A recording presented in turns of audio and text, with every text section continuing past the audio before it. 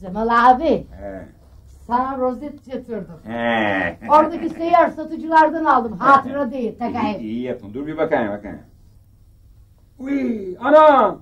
Ulan siye. Ulan sen benim iş hayatımı sona erdirmeye mi çalışıyorsun? Niye öyle diyorsun? Senden fazla kurşun parası mı istedin? Ulan bana getirdiğin rozet, Lenin'in rozetidir ula.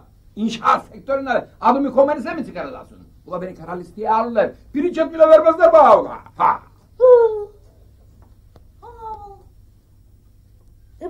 Bu Lenin'in rozeti bu kadar tehlikeliyse Tursun'un yakasına takalım hayatı kaysın. Kız Hamsiye önce tursunu bul ondan sonra yakasına broseti de takarsın kurşunu da da.